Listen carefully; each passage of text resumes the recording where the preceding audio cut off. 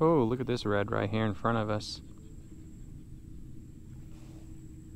If I can just reach down and grab my rod without spooking him. I'm gonna wait for him to get behind the grass so he doesn't see me. There he is.